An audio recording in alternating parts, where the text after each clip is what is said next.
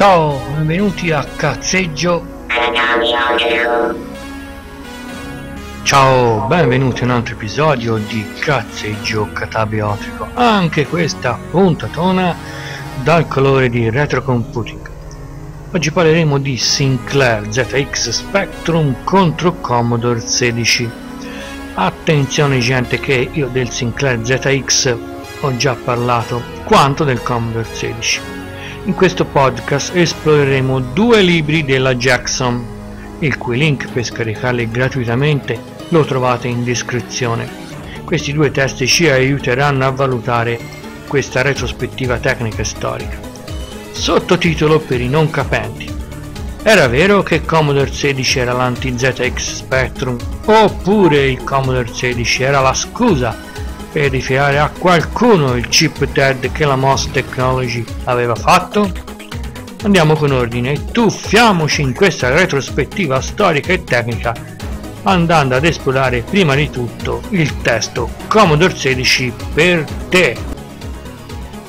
Commodore 16 per te, eccolo qui il testo del gruppo editoriale Jackson, il link per scaricare questo testo lo trovate in descrizione. Ringraziamo anche il gruppo editoriale Jackson che ha messo online su Archive un ballino di libri in PDF in italiano di informatica per cui per tutti gli appassionati di informatica ed anche e soprattutto di retrocomputing è possibile andare a scaricare queste perle se uno è interessato.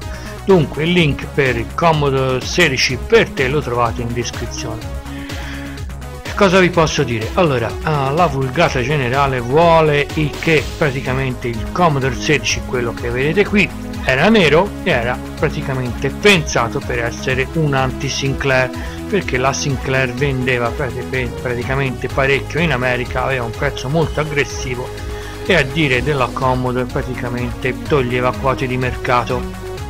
Ma è proprio così?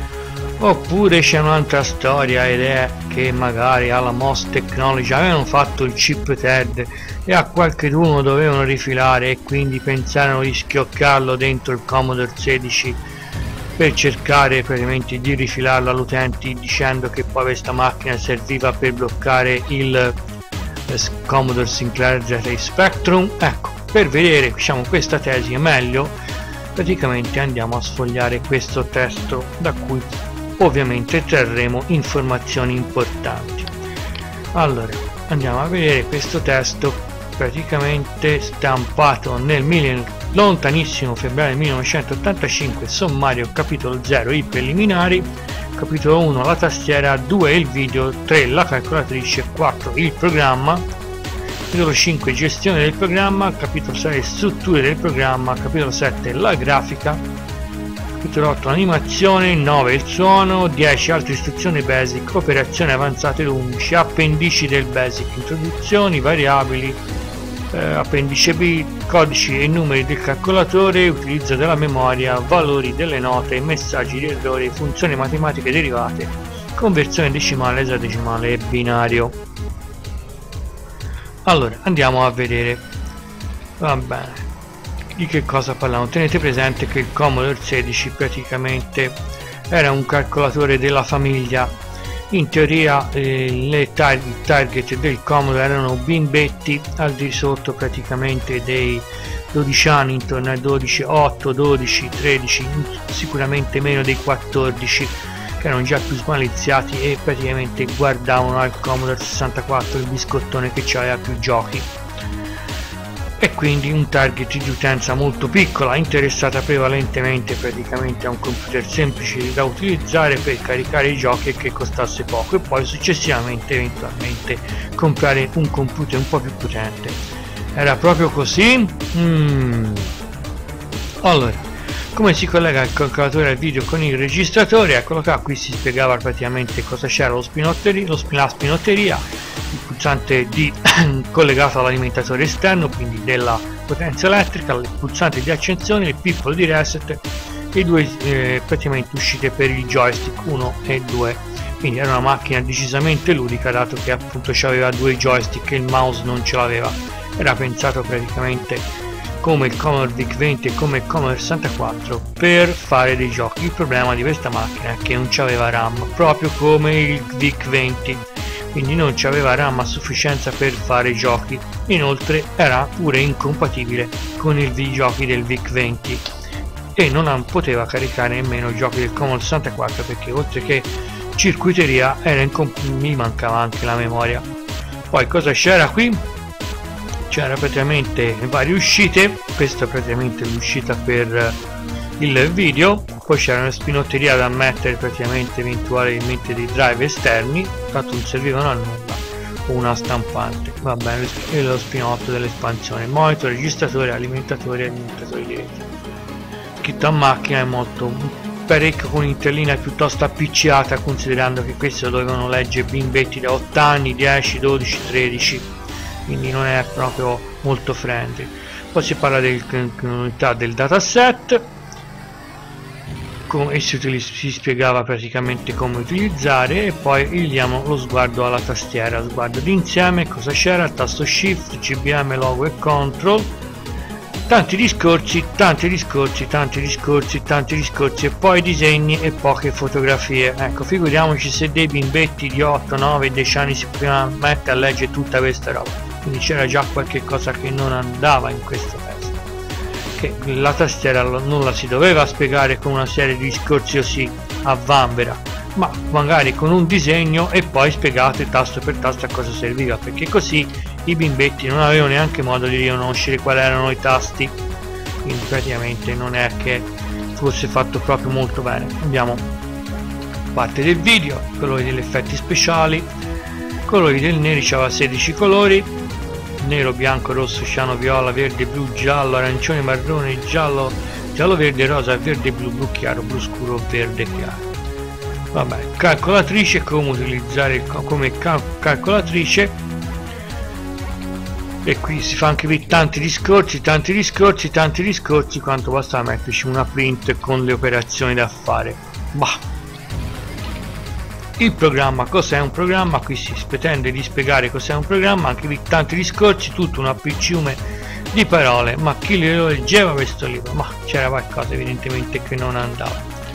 Nel, eh, che gli, negli autori che hanno scritto questo libro non avevano presente il target di utenza di chi poteva comprare un libro simile perché poi praticamente c'era già il manuale del Commodore VIC 16 allora ci ho fatto un podcast su questo. Gestione del programma. Ecco qui si parla un po' di gestione del programma come gestire ma si ritorna sempre al discorso.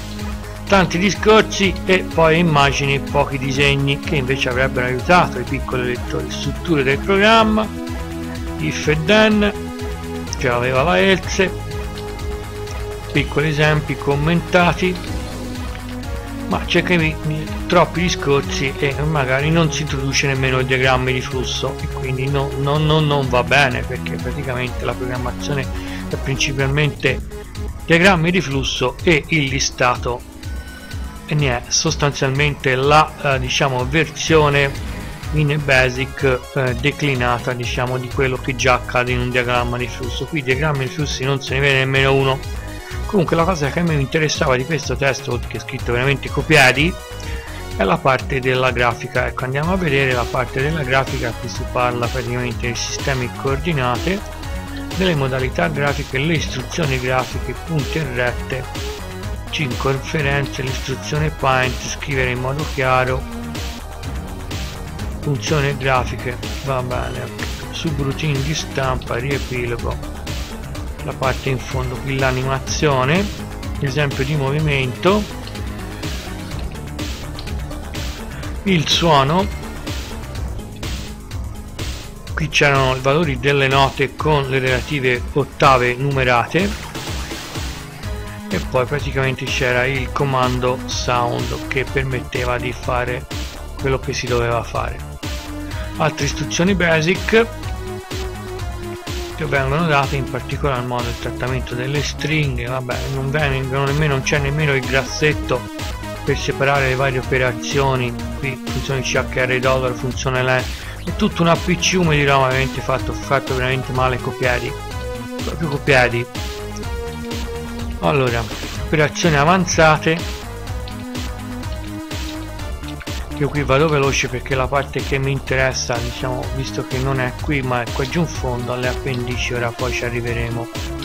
Ma comunque un modo per scorrere il libro. Ecco finalmente si vede si annusa un diagramma di flusso di cui non si è dato nemmeno particolari concezioni. Va bene.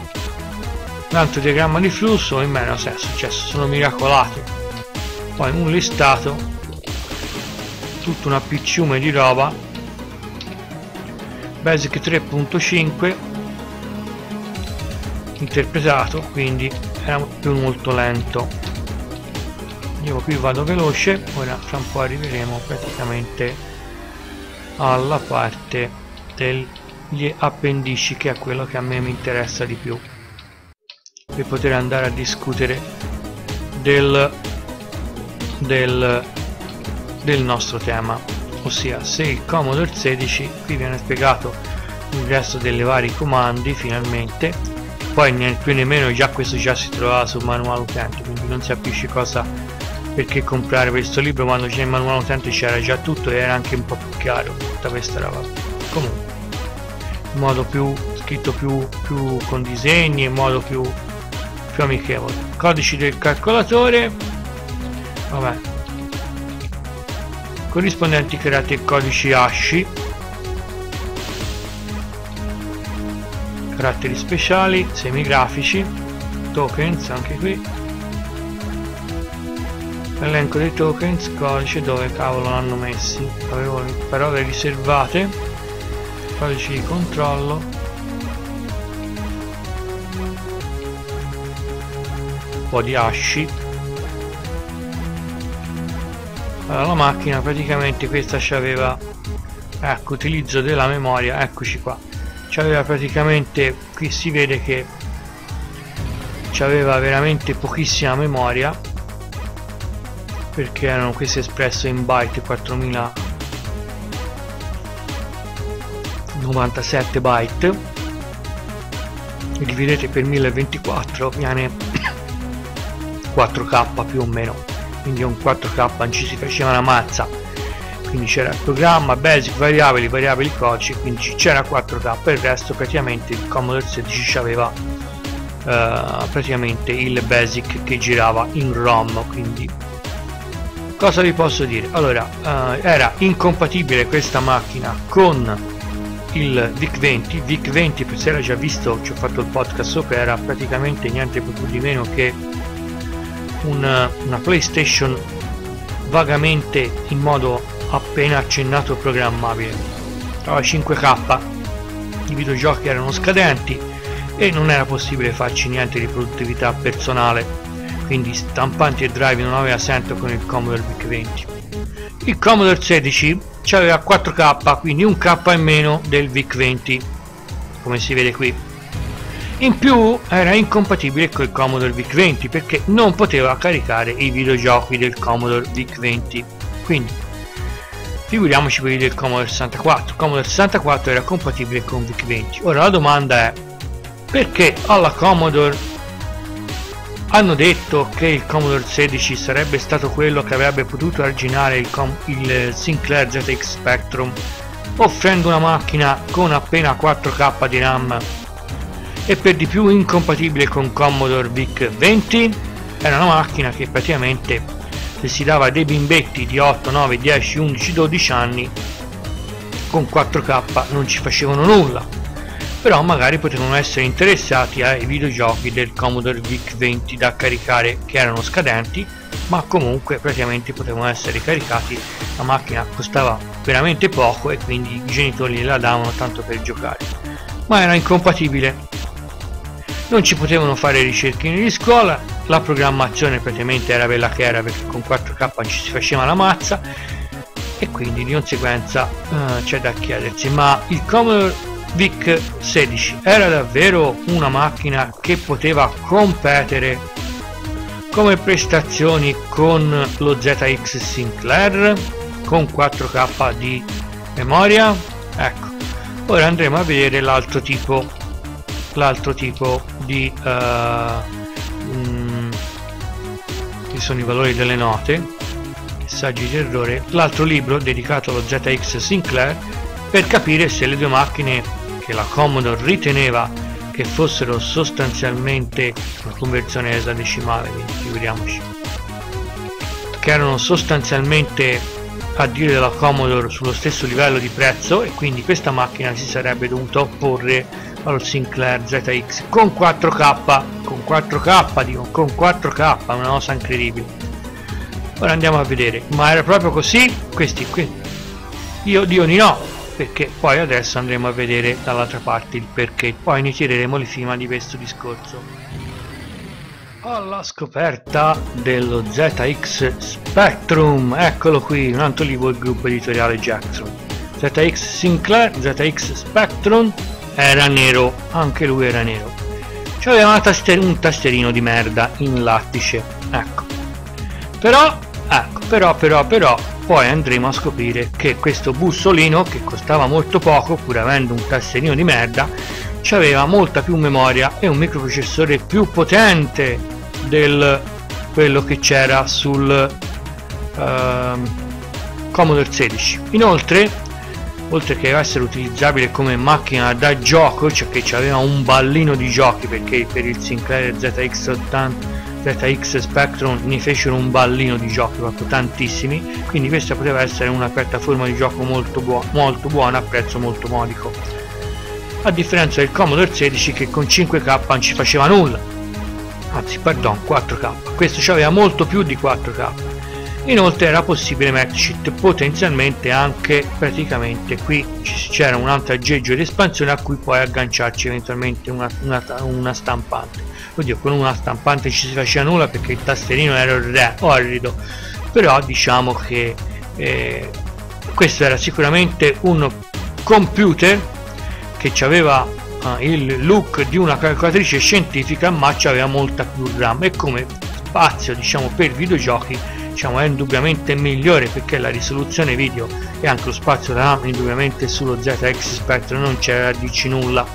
Andiamo a vedere questa è la premessa che qui già vi anticipo e che poi andremo a vedere e a scoprire all'interno di questo, di questo test che adesso andremo a vedere scritto nel lontanissimo 1983 il link per scaricare questo testo anche questo l'ho trovato in descrizione cosa c'erano nel sommario capitolo 1 calcolatrice la tastiera numeri alcuni comandi programmazione elementare uso del registratore i colori, i suoni sotto il coperchio, introduzione ai capitoli successivi, la programmazione in BASIC, che indubbiamente era un BASIC eh, molto simile a quello praticamente del Commodore 16, però questo era un pochino più potente, inoltre aveva praticamente molta più RAM e quindi di conseguenza eh, era una macchina indubbiamente molto più potente.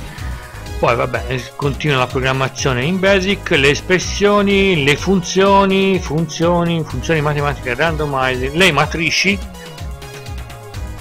connettori logici poi abbiamo print input la possibilità quindi vari effetti sul, grafici sul testo poi abbiamo praticamente il, la gestione degli sprite plot draw circle point per gestire le figure per produrre suoni list eh, e poi abbiamo che cosa c'è? Variabili di sistema uso del linguaggio e poi una serie di appendici molto importanti che poi andremo a vedere. L'iscrizione dello spectrum in particolare dell'appendice C. Comunque questo lo corremo rapidamente.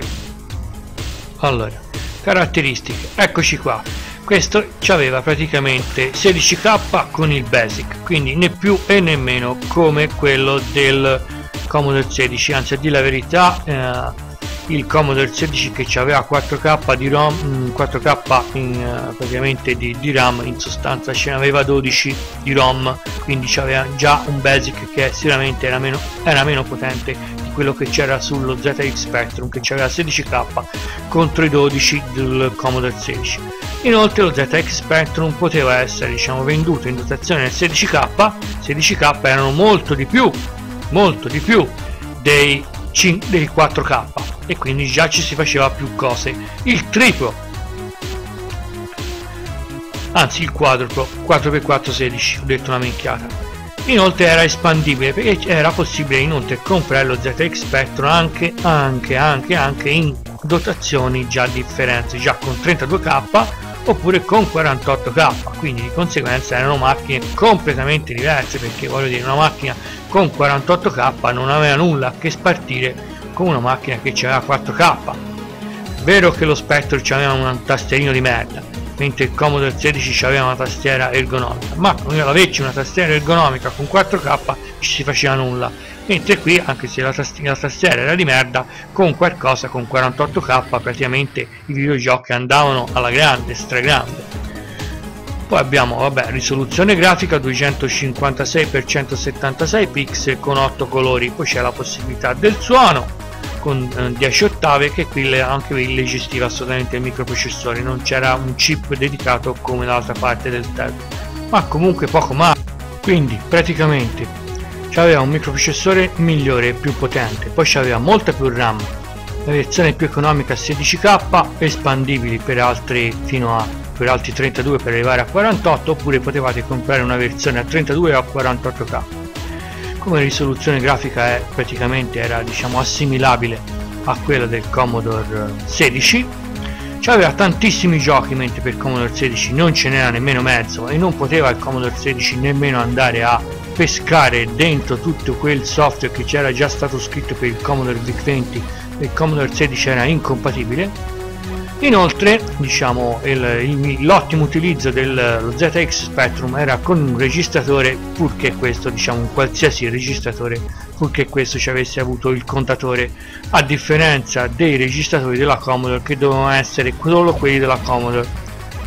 Inoltre ci potevate mettere per eventualmente anche un'espansione aggiuntiva per gestire una stampante. Con oddio con il tastierino di merda in latch che ci aveva ci facevate nulla però diciamo che come macchinetta per i videogiochi questa era una soluzione molto buona perché bastava comprare questo il joystick un averci un registratore con un contatore e si era già a posto e si poteva già andare a giocare con tantissimi giochi con una macchina con 48k o anche 32k che non aveva nulla a che spartire con il troiaio del Commodore 16 che aveva 4k ok andiamo a scorrere praticamente questo questo manuale giusto per vedere come è scritto eccolo qua e qui già qui si spiega che è tutta un'altra cosa. Si spiega come attaccarlo e via dicendo qui ci sono figure e indubbiamente diciamo questo test si rivolge questo computer si rivolgeva praticamente a 14 anni che erano già un po' più smaliziati e un po' di qualche cosa ne intendevano perché volevano magari giocare. Non dico programmare perché programmare con, con una calcolatrice praticamente scientifica con un tastierino orrido che fa venire eh, praticamente le bolle solamente a vederlo era una cosa che non si poteva fare non si poteva fare non si poteva vedere in un'epoca in cui praticamente non esistevano mouse e tutti gli utenti che interagivano con un computer dovevano interagire passando dall'interfaccia a linea di comando e passando all'interfaccia a linea di comando serviva come il pane come l'aria praticamente una tastiera che fosse ergonomica. Questo era tutto fuorché ergonomica perché faceva venire le bolle però diciamo che non importa per giocare poteva bastare. Per programmare ecco programmare no. Fare ricerche di scuola no ma per giocare sì. Quindi questa era una macchina che a tutti gli effetti si poneva si poneva come un anti-Commodore 64 perché anche il Commodore 64 praticamente con 64k non è che ci si potesse poi fare molto a livello di produttività personale eh, perché era troppo poco e il software integrato anche se c'erano diciamo i word processor erano piuttosto scadenti. Però diciamo che aveva una tastiera diciamo ergonomica qualche cosina ci si poteva fare questo ecco battere ricerche di scuola no ma come videogioco come macchina per diciamo playstation programmabile indubbiamente era decisamente migliore e più economico del Commodore 64 il Commodore 16 non li legge non arrivava nemmeno praticamente a annusarlo questo che c'era sul ZX Spectrum che obiettivamente era molto molto superiore. Ok continuiamo a scorrere praticamente questo libretto che indubbiamente andava praticamente a, a a guardare i 14 anni che eventualmente dal proprio manuale non che abbiamo già fatto ci ho già fatto un podcast sul manuale dello ZX Spectrum c'era già tutto era a colori eh, anzi addirittura sulla versione dello ZX Spectrum Plus che aveva praticamente una tastiera che era già compatta ed ergonomica e quindi era già tutta un'altra macchina rispetto a questa. Ma comunque praticamente eventualmente uno poteva comprare un, un librettino aggiuntivo come questo e andare a espandere praticamente i temi in modo più approfondito.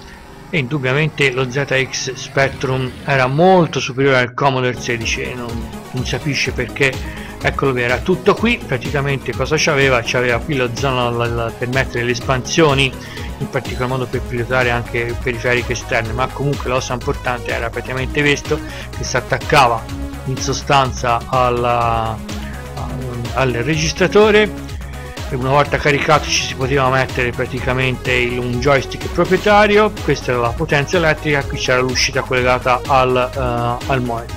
E voilà in tre, in, tre, in tre, momenti praticamente aspettando un po' in tempo chiaramente per il calc per la, il caricamento dal registratore si aveva praticamente tutto il, tutto il programmino qui col microprocessore che era questo e praticamente si ruzzava si era già a posto. Andiamo a vedere. Qui altri si spiega capitolo 11 elementi di programmazione basic. Io qui vado veloce perché tanto uh, se siete interessati a scaricare e ricordare eh, per avere diciamo il basic un, un libriccino sullo ZX Spectrum il link lo trovate in descrizione per scaricare questo, questo testo se invece volete ricordare il basic per il Commodore 16 lo trovate anche quello uguale. Se siete interessati a tutte e li potete scaricare. Ora in questa retrospettiva non ci porremo i programmi della programmazione che indubbiamente anche il basic per il Sinclair era decisamente superiore rispetto al misero basic del Commodore 16 che con 4K ho detto non ci si faceva nulla al massimo ci si grattava le palle. Ecco così l'ho detta mentre indubbiamente con 16k già qualche cosina ci si faceva con 48 era decisamente meglio ci si sciacquava. Ora con un registratore si era praticamente a posto per i giochi e, qualche, e diciamo fare delle plottaggi di funzioni qualche cosina ci si poteva fare già con questo. Anche se c'aveva una, una tastiera che era orrenda ma comunque passiamo, passiamo oltre.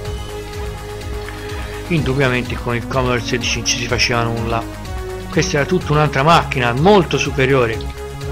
Il, il Sinclair ZX Spectrum era molto superiore al Commodore 16 quindi non si capisce perché alla Commodore per arginare diciamo, le vendite del Sinclair ZX80 che era, eh, era molto molto superiore al Commodore 16 ci avessero mandato a schiantare il Commodore 16 che era un troiaio proprio un troiaio. Al massimo ecco si poteva si poteva comprare per tenere come soprammobile per, eh, come acchiappapolvere perché praticamente non ci si faceva assolutamente nulla.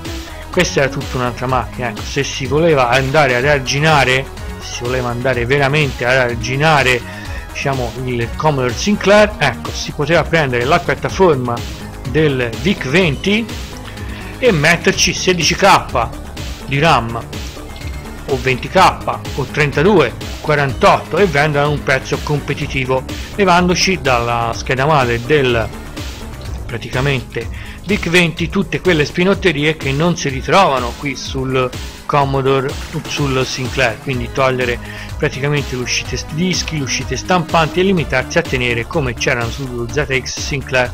Solo praticamente l'uscita video, le entrate per il registratore e la, la potenza eh, non era necessario nemmeno metterci diciamo, la scheda lo slot di espansione al massimo ecco ci poteva mettere, ci poteva mettere un paio di prese joystick. Ma tutte le prese di uscita ecco non, non servivano come una mazza il Commodore 16 e quindi già uh, o anche sul VIC 20 prendendo quello e incominciando a levarci gli spinotti. Di conseguenza ecco poiché il Commodore 16 non era capace non aveva diciamo non aveva RAM non aveva retrocompatibilità con il Commodore VIC-20 ecco, anche se era nero e aveva una tastiera ergonomica non ci si faceva una mazza.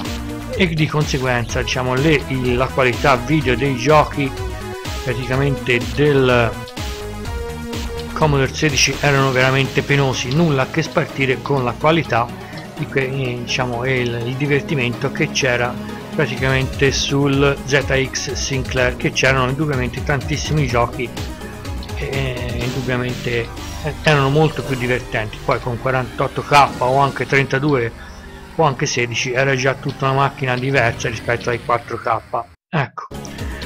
Di conseguenza ci si chiede a cosa serviva a cosa è servito andare a proporre il Commodore 16 se era una macchina meno potente e che non poteva arginare quello che faceva questa macchinina? Ecco secondo me l'hanno venduto il Commodore 16 così come hanno venduto la linea del Plus 4 semplicemente perché hanno fatto il chip TED e a qualcuno lo dovevano rifilare.